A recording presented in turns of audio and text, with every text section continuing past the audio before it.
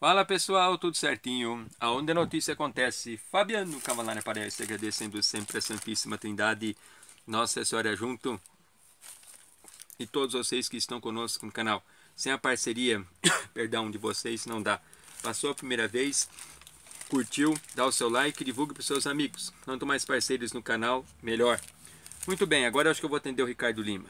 No particular no WhatsApp, dia 5 de setembro de 2020, sábado, a 1 hora e 32 minutos da tarde, o Ricardo Lima comentou comigo que está feio, ou seja, de que o saco de arroz foi para 22 reais. Neste domingo, dia 6 de setembro de 2020, eu creio que por volta de meia-noite, certo?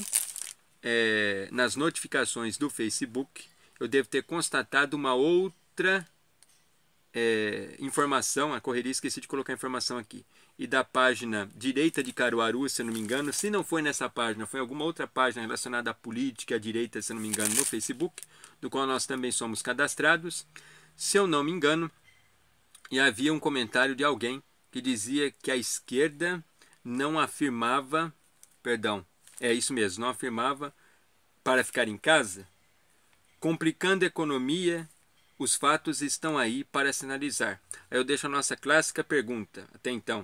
O que você acha sobre isso? Aí coloquei aqui, pesquisar no Google Chrome sobre isso. Realmente, coloquei por quê? Porque é importante a gente usar as fontes que a gente tem no sentido de ampliar a informação, confirmar a veracidade dos fatos. Pois é, não se falava que, tudo bem, eh, tem que salvar vidas e depois a economia se recupere aí.